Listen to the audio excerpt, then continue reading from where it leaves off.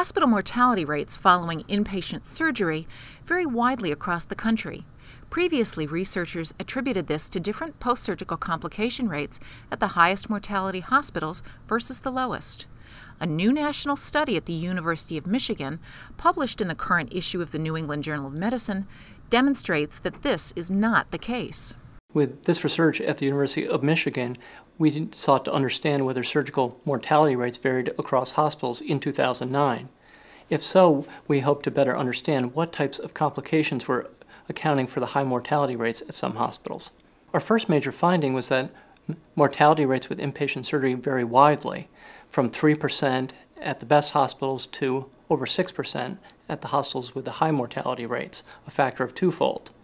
Second, we found to our surprise that there was no variation in complication rates. The high mortality and the low mortality hospitals had exactly the same rates of complications. It's important to understand why patients die after surgery in the first place. They go from having an uneventful course after their operation to having that first complication, that first domino, that subsequently leads to other complications that gets them into the ICU, that leads to multi-system organ failure, and ultimately to death.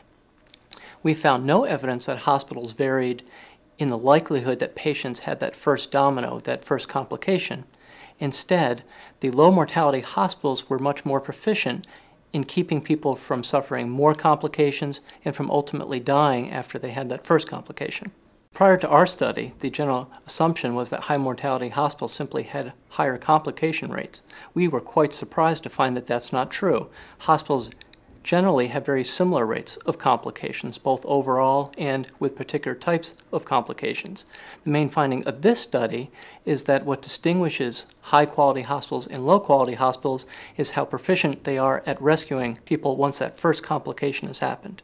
We believe it has something to do with the quality and the quantity of the nursing staff that's on the floor, the relationships between the doctors and the nursing, for example, whether nurses are afraid to call the doctor at nighttime an additional factor is the availability of rapid response teams, the extent to which hospitals have dedicated teams whose sole job it is to rescue patients once they first get into trouble on the floor. The implications for those findings is it gives us a much better sense about where we should be looking if we hope to fix the problem of high mortality rates with surgery. Rather than focusing only on what the surgeon does in the operating room, we need to focus on what's happening in the wards and in the ICU after surgery.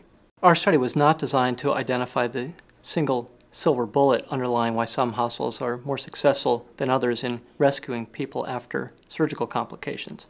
However, a patient in need of a major operation should be thoughtful about choosing where and by whom their surgery is performed.